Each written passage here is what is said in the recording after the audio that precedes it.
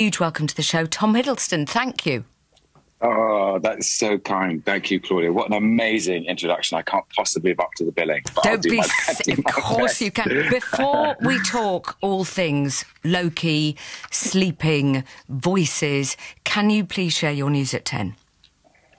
Well, so I, I, first of all, I just want to say, absolutely love the news at 10. Oh, my Uh, God, I love li- it. live for the news at 10 every weekend. Stop. Um, I would, so my news at 10 this week, I don't know if it could compete with um, Tree hugging. some of the other Yeah. some, tree hugging, which is pretty great.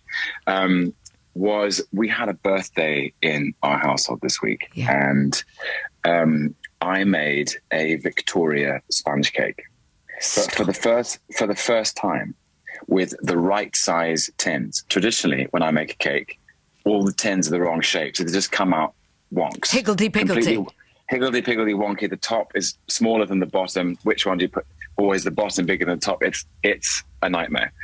This year, the right size tins. I'm, I'm almost and- emotional, by the way. do you know Because what? It was a big triumph. It It's was a huge. big triumph for me. Is that- and um, Is I that- had. So you go. You go. No, I just want to know if it was your very favourite cake.